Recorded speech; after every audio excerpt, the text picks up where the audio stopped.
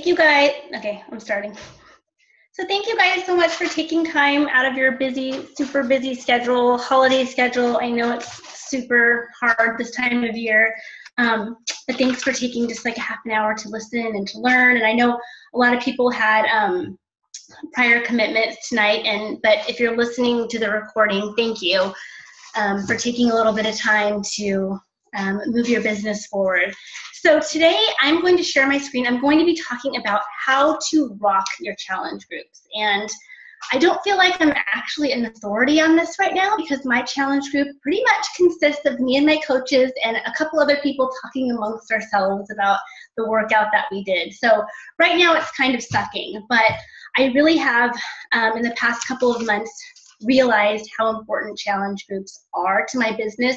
And so for the past couple months, I've been really um, kind of pouring my heart and soul and a lot of my time into um, having just like awesome, awesome challenge groups. So I'm going to share my screen. Why do I always forget how to do this? Um, how do I share my screen? It's at Bubbles? the bottom and it says share. Oh, screen. I got it. Never mind. I got it. I got it. Okay.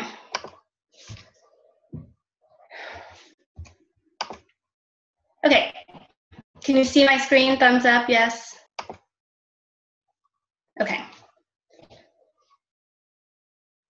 All right, so um, like I said, I've really been spending a lot of time um, kind of fine tuning my challenge groups, um, trying out different things um, because I've re- I'm realizing how um, vital they are to my business. So I'm going to talk a little bit about um, why, and this presentation is four slides long. So um, yeah, it's pretty rocking. But um, why it's important, why challenge groups are so important, and then I'm going to go over my 12 um, tips to a successful challenge group. And then I left a page blank at the end, and I thought maybe we could um, just take a couple of minutes to like brainstorm just some ideas that maybe you guys have used, and I'll add them to this presentation, and we can have it in the team page or whatever. So you know, when new coaches come on, they can kind of see what our best practices are for running a challenge group. So if you guys have any ideas um, that have worked really well for you and your challenge groups, I'd love to hear them. I'll write them down and I'll add them to this presentation.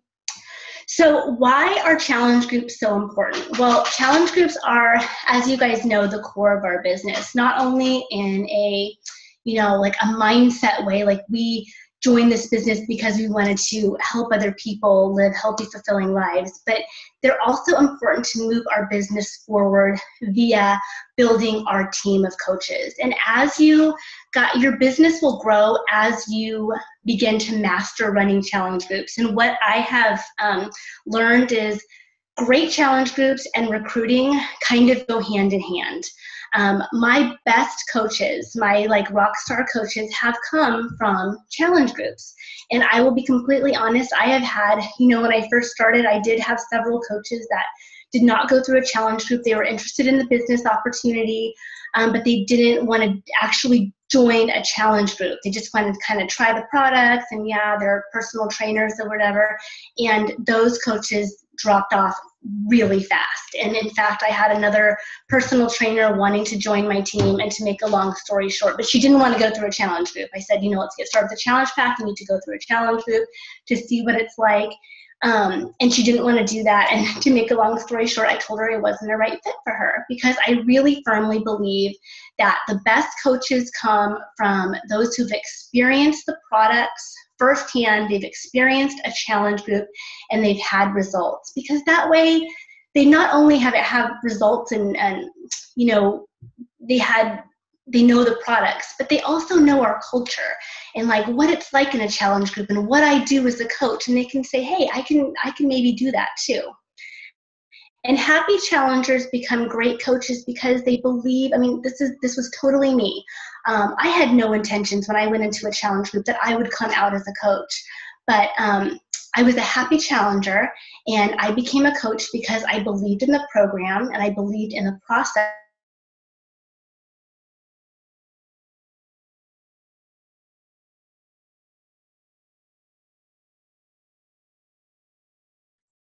Where did she go? Challenge. Oh, there she is. Did she Hello? put out for anybody? Can you hear me? You cut out for a second, but you're back, so that's good. Am I back? Okay. So, challengers will want to be coaches, um, but if you keep your challengers happy, you it's a win-win. You're either going to get an awesome coach or you're going to get an awesome referral. They're going to be a coach or you want them to be a referral. And this is no joke. I had a challenger who I had a challenger, sorry, my computer. Um, I had a challenger who she's not in my groups anymore. She's kind of off on her own. She had great results. She was just like an absolute rock star. And she emailed me um, yesterday and she said, You know what? I just sent out 300 um, holiday letters and I told them all about, I told everyone all about Beachbody and all about these great results that I've had. And, you know, she was just so excited about it. So that is like, that's 300 referrals for me. So she had a great experience. So she has no interest in being coached, but she um, she's a great referral for me. All right, so my 12 tips for um, hold on. My 12 tips, I don't know why this is not working. Okay, my 12 tips for running a great challenge group. Number one, be a product of the product. And I feel like we we hear this so often with Beachbody that sometimes we just kind of like roll our eyes or it kind of goes right over our head. Like I am really serious this time. We, you have to be a product of the product because we have absolutely no right to tell people what to do and to coach our challengers through a process if we aren't doing it ourselves. We actually have to um, we have to live the life that we want our challengers to live. And that means doing a program from start to finish. That means pressing play every day. And it doesn't mean that we don't struggle. It doesn't mean that we don't mess up and we're not perfect. We want um, but if you struggle, you have to share that. You share that with your group, you share that with your challengers because they are going through the same thing. But it can't just be like a, a coach showing their struggles all the time. We also have to be an inspiration for these people. They need to look at you like, I have two jobs. I have um, I have three kids. I'm super busy, and I am making this work for myself. I want to inspire you um, to do the same thing. And so we can't just be a, a, challenger who schedules or a coach who schedules their posts and go in, goes in and likes everything. We actually have to be, we have to live it. We have to be a product of the product. We have to be doing it. We have to be sharing our successes and our struggles. Um, and that is also a way that we're going to build trust and credibility among our, our customers. Um, number two, coach just don't cheer. So now as a coach, absolutely, we are our customers' biggest cheerleaders. We um, provide inspiration, but we do also have to remember that we have to set aside a specific amount of time every day to actually coach our challengers. This means providing value. This means giving them meaningful ideas and feedback. It's not just liking their posts. It's not just saying, like, hey, great job. I mean, we do that you know, with sweaty selfies or whatever. But if they are struggling with something or if they are asking for advice, we need to provide, they are our customer. We need to provide them with the we want to exceed their expectations. You know, they're not going into Target; they're going into Nordstrom with us. We want them to exceed their expectations. So that means giving meaningful, meaningful ideas, feedback. What do they need? Recipes, research, tips? Do they need tough love? And the best place to find all these things is what Gary Vaynerchuk says is Google. If you don't know, I mean, today I had a um, someone in our snack and water group. They're like, "Oh, I can't get off coffee creamer, and it's so good and everything." And I remember that I saw a recipe for coffee creamer or something. So I and I couldn't remember where I saw it, but I googled it and I sent her a bunch of ideas. So just things like that, providing actual value, not just rah rah cheering stuff because we are a coach at the end of the day. Um, number three, and this is totally random, by the way, I just kind of stream of consciousness. Um, number three, run groups with other coaches. And I think that our, our team is very um, good about this. We always team up and run with other coaches. And it's just great to get to, I mean, not only to have the help, but just to um, see how other groups are run. And as a new coach, you definitely need to run. I mean, for several months, I ran my groups with Kelly. And at some point, they get to be too big. I mean, I think one group, Kelly, remember we had like 150 people, and I actually had people commenting saying that they were like overwhelmed by everything. But right now, I'm running a group with um, some of my other coaches, and we have about um, 40 or 50 people, and that seems to be the right amount because, you know, half or more do not um, regularly post. So running groups with other coaches is key. And even if it's not your, your personally sponsored coach, you can team up with someone on another team, which is actually great because then, I mean, people have different ways of doing things, so you can get different ideas. Um, number four, sending a welcome email with tips and a with sending a welcome email and tips and a sample meal plan. Now, I've been doing this since the beginning, and I created a template. It took me, you know, like an hour or two when I first started coaching, and I still use the same one today. So I send all of my new challengers the welcome email. Hey, welcome to the group. The group's going to start um, on such and such date. Um, we're so excited to have you. And then I'll attach my tips for the 21 day fix and that is um, a document, and I'm more than happy to share this with anyone. You guys can make it your own. Just tips that I learned doing the 21 day fix um, when I first went through it. So, oh, sorry. Um, so like for instance, like what weight, what kind of equipment you'll need. It's actually a lot of the stuff that's in, involved in prep week, like scheduling your workouts, um, some Shakeology recipes, things like that. And then I'll also attach a sample meal plan. And my sample meal plan is actually the meal plan that I followed, that I made for myself, that I followed when I first did the 21 day fix. So I tell people like, look, you don't have to use this meal plan. I just, I'm giving this to you so you can kind of see the kinds of things that I was eating and how I spaced out my meals throughout the day. So that is just kind of like a getting started right call for um, for my new challenger. So that's what I do for that.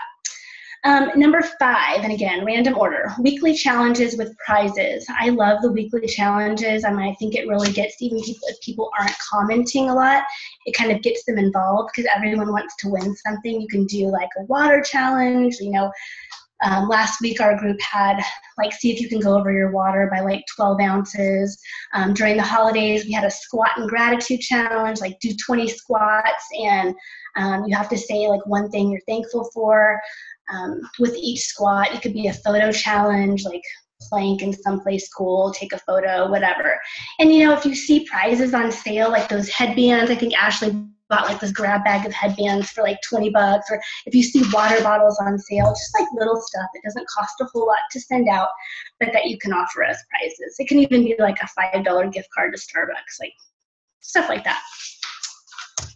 Um, number six, send handwritten notes. Okay, this is something that I started to do um, a couple of months ago, and it got such a great response. Now, um, again, I am trying to exceed my customers' expectations. I want them to have an awesome, awesome experience. I want my customers to be my customers for life.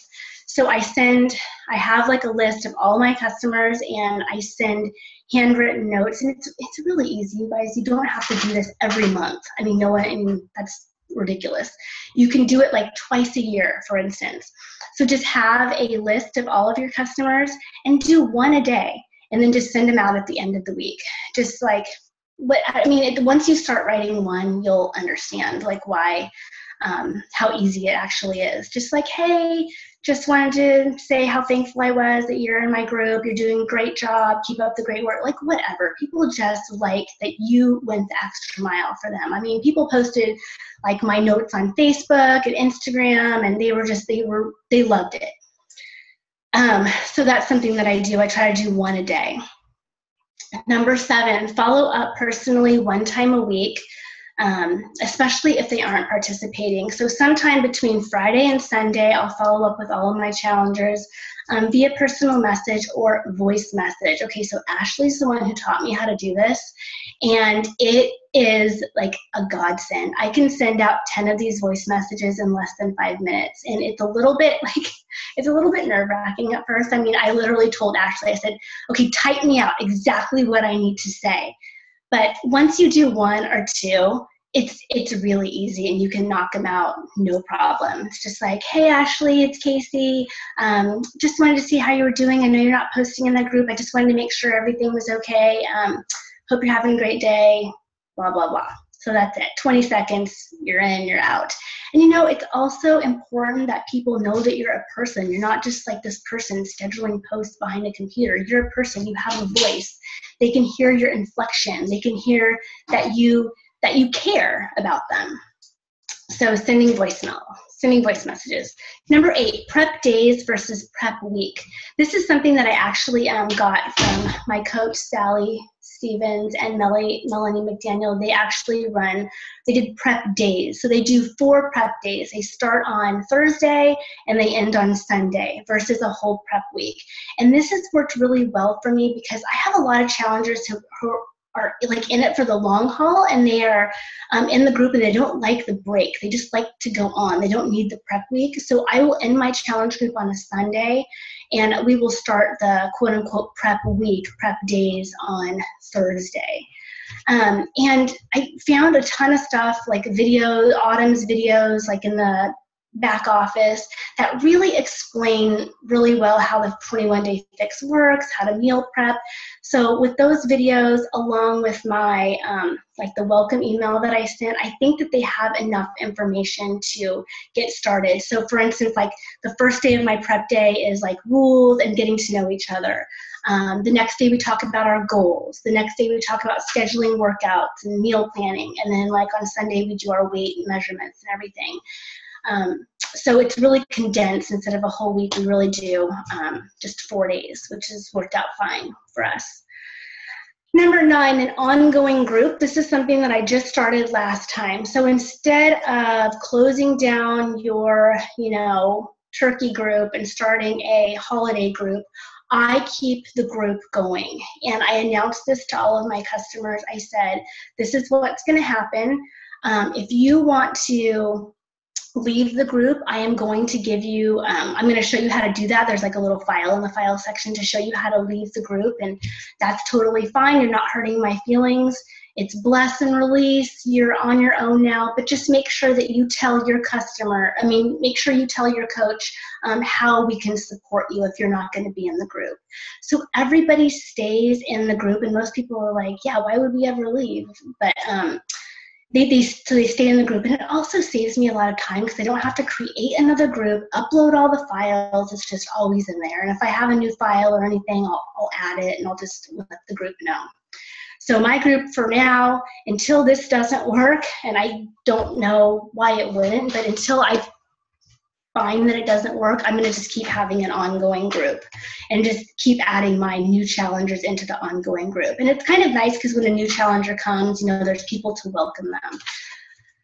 Um, number 10, ooh, peek into other coaches' groups. And I don't know, some people might be weird about this, but I am absolutely not. If you ever want to go peek into my group and like see how not rocking it is, you totally can. Um, I actually did this with Sally Stevens. Bye with Sally Stevens and Melanie's group, and I it just like opened up this whole new world because they run their group so differently than I run my group, and I just got I got so many good ideas. And like as a teacher, it's kind of like going and you know you're stuck inside your classroom all day, but when you go out and you see how other people do things, it's just it's really awesome to see.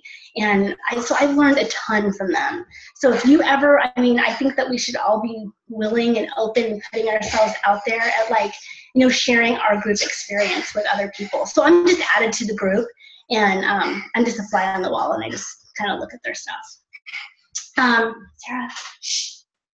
Okay, number 11, let them get to know you. So they have to know that you're an actual person, you're not just someone scheduling posts, you are a person, you have a life, you have um, a voice, um, they need to see you. If that is like video, if that is um, however they you can let them get to know you, sharing your workouts, um, sharing pictures, videos, whatever. They really need to get to know you to help build that trust. Because, again, going back to the beginning, if you want to build people for your team, you need to you need to want them to like you so they will continue the journey with you as a coach. So they really have to get to know you as a person. And the last one is totally random. Um, I just started doing this actually is weekly shout outs. So every week I will have shout outs to people that I think are working really hard. And like the first week I had a video, I did a video shout out. This week I just did a little graphic of, it's right here, um, of the people who were doing a great job. And some people are really weird about, I mean, I like doing recognition for my challengers on my personal page, but a lot of people are weird about that. They don't want, you know, everyone knowing that they're going through this like fitness thing or weight loss journey. And I totally understand that. But being shouted out in the group is like a safe place and everyone likes, you know, hearing their name and sometimes we send them a little prize and stuff. Um, so that is that. And that's it. Um, I would love for you guys to ask any questions or to um, to share anything that you have. I'm trying to like stop sharing my screen. Hold on. If you have anything that's worked really well in your group, I would love, love to hear it and add to my um, add to this document. So go for it. Oh, my group's in the app. Oh, we don't do the app. Like, no, we don't do the app.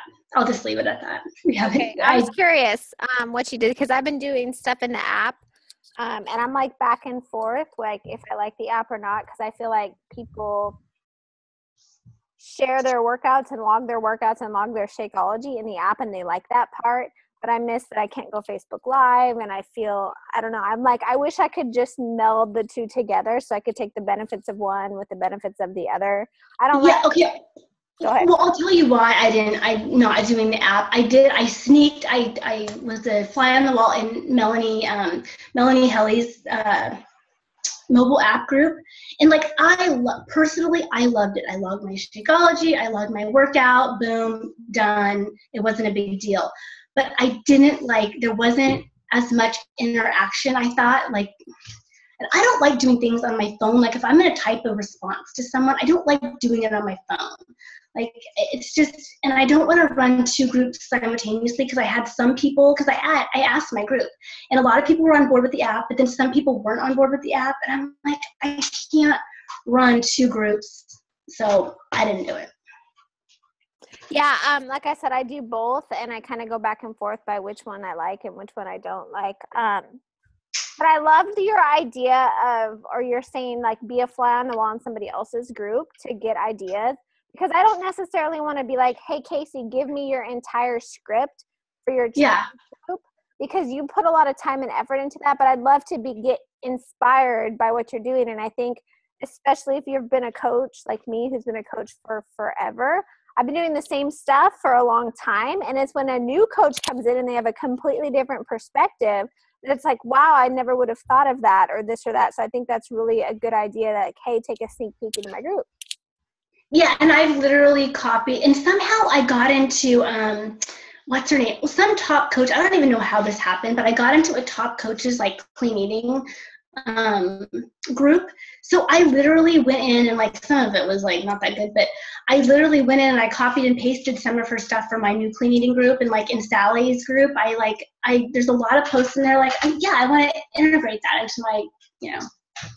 It's overwhelming sometimes to think about doing an entire new challenge group by yourself. Yeah because um, I know I've done that a couple times. But if you take inspiration, I, we have to remember we're a team. And I know for me, when I like made my challenge group content, I was like, man, that was like my baby. It took a long time to create it, and it was like special to me. But then I'm like, well, if I ever want to, we we should be coming together more to share ideas, not to cop, because I don't want a coach to ever steal somebody's content and not have to actually work but there is strength with somebody else's perspective and somebody else's post. But really at the end of the day i mean we're all saying the same thing like get motivated work with your emotions. I mean it's just sometimes yeah, one post will speak to somebody more than another. I mean well to be honest like i i copied and pasted your script for like the longest time.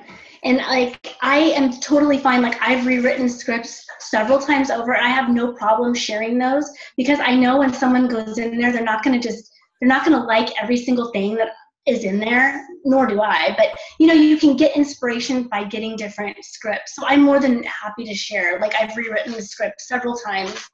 Um, so you you know, if you want access to my Google Drive, feel I can post it and just copy and save and don't mess with the original thing. But I'm more than happy to share all that stuff.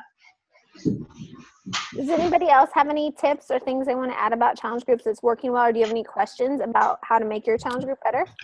Go ahead, Diana. So I was, um, I, I'm running my challenge group on the app, and I find that everybody's been like super chatty. Like they absolutely love it. They log in their shakes, they log in their workouts, um, and they're just communicating more than they did in my last challenge group and I can see who's working out and who's not. So I'm able to like check in with those people who aren't logging in their workouts. And today I did a um I just sent them all a note and I'm like, hey, I'm going live on Facebook just for you guys. So I did a live feed on Facebook just for them. So if they wanted to go check that out, they could. And I talked about the health bet and all that. And then um, I mentioned Sarah Gaub Gobe, I don't know how to pronounce her last name, but she was on the Beachbody um, Champions page today talking about how she does that same thing Casey was talking about. She just has an ongoing Facebook group, and then she just adds people to that, even if it's mid month. And then her um, specified challenges, like the men's group or a mama's group or whatever she's doing on the side, she'll run that through the app. So then she's not like getting the groups mixed up or whatever. But I thought that was a good idea too. Yeah, I'm I'm super inspired by um who was it that I was Casey, we were just talking about this, that we just watched um Shelly Hobbs on um, Best of the Best in the West, and she talked a lot about moving completely over to um, the app. And I'm like, I'm seriously like struggling with this concept because you know it's sort of like why fix something that's not broken? But i i feel like maybe in january i'm just gonna try it and see how it goes one round. And then i might just keep an ongoing group in facebook for anyone that feels resistant to change and really wants to just stay connected on facebook. Um, but i won't be you know like posting daily in that and just kind of letting people talk amongst themselves well, she's muted. You're muted. You're muted. Have you actually, Kelly, like experienced the app, the going through a challenge group via the app?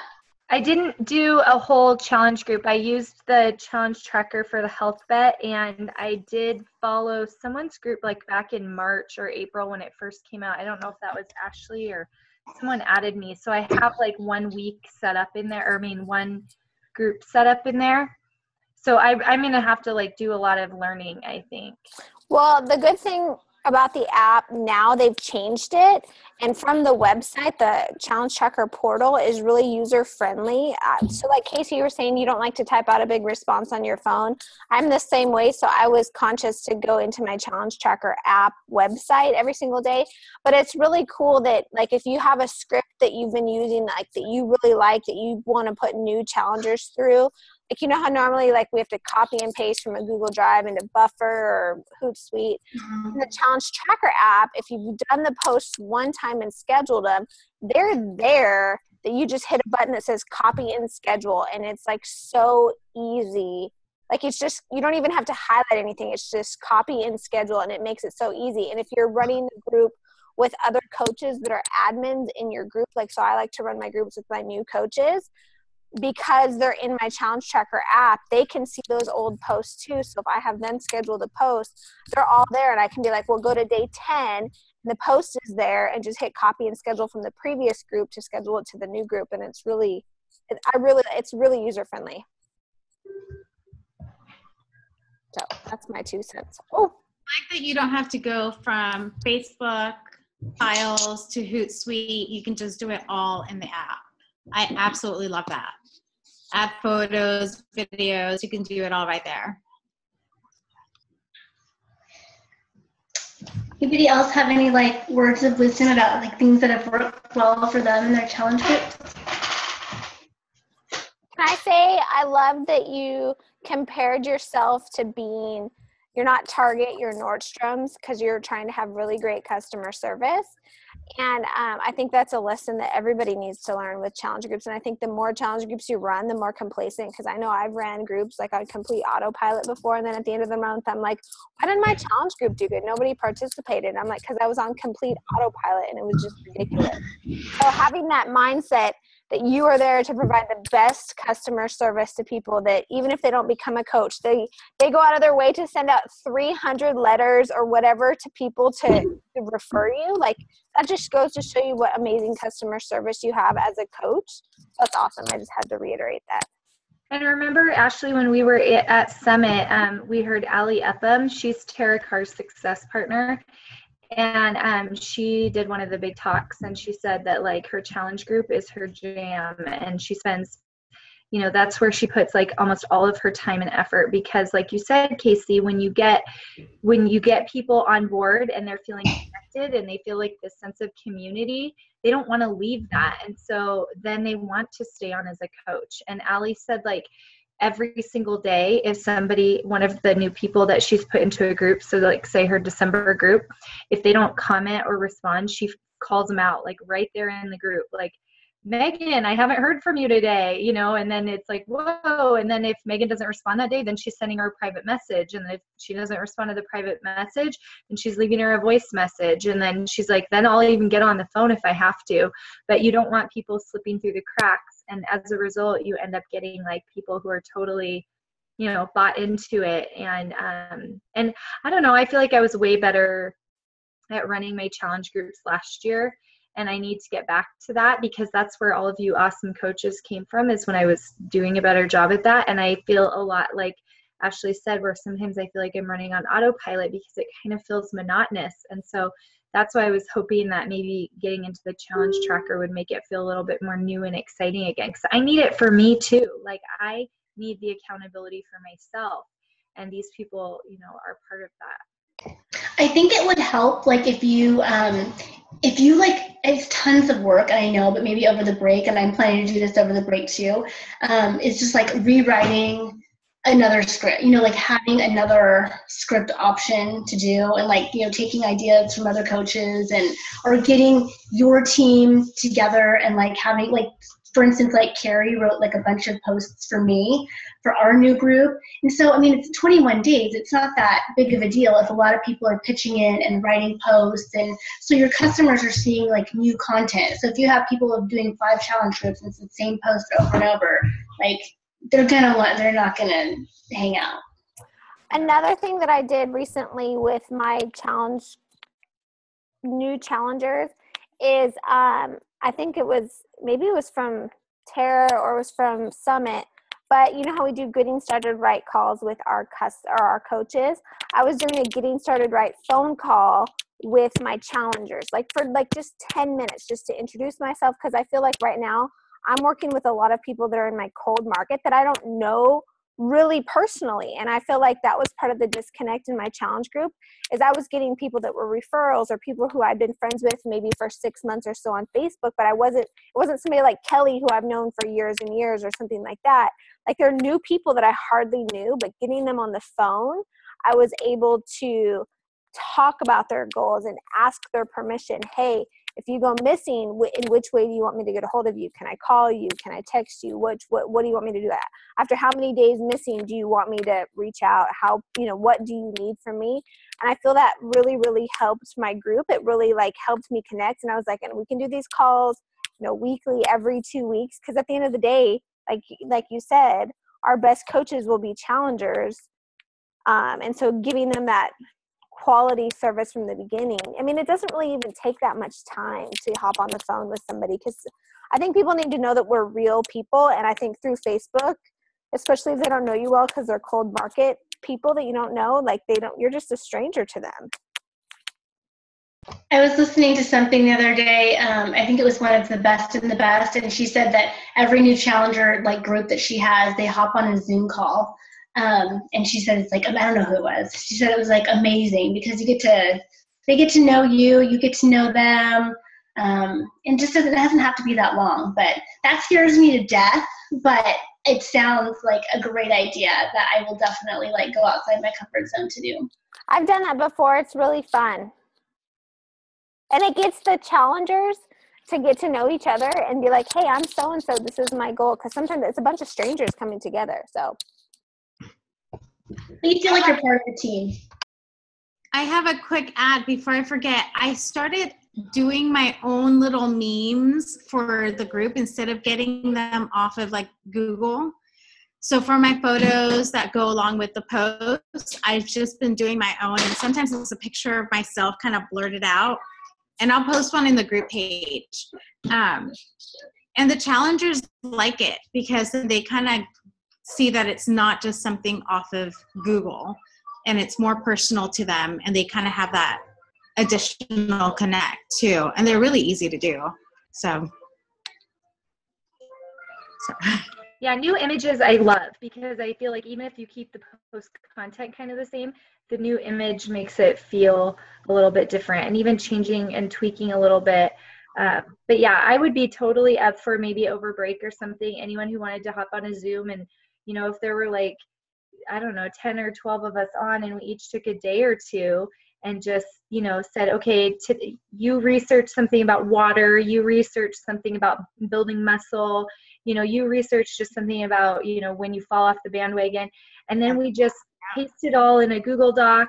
I mean, the nightly check ins are so easy, a couple bonus posts throughout the week, and then everyone's responsible for creating like two graphics. And we could have a fresh just for January, you know, that is really That's a great idea. Staying away from everything 21 day fix because I do love 21 day fix, but there are so many other programs out there that I think people forget about because we focus on 21 day fix. And I want my customers to know that look, once you've gone through the 21 day fix, which is a really great program to start with, like get Core de Force or get a 21 day fix extreme or whatever, and you don't have to be doing 21 day fix. And that creates that residual customer too. We're going to get cut off for time here, though. All right, ladies. Okay, awesome. ladies, see you guys later. I will upload this call probably tomorrow or the next day. But I love that idea. Let's maybe make an event in the big team page or something and then collaborate for time on that. Bye, guys. Bye.